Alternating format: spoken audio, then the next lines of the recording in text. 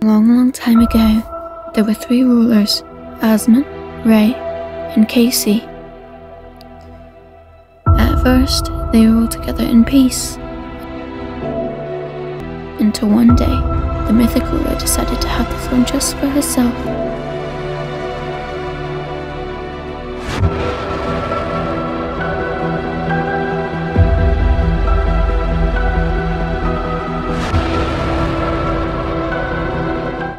Most important rule was never to engage in a talk with the magic ruler.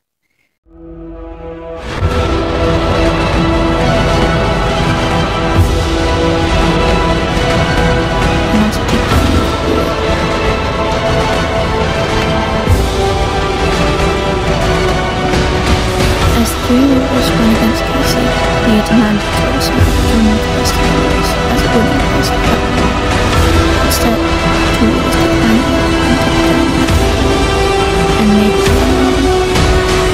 day, mythics got strict rules that they had to stick to, and magic was banned from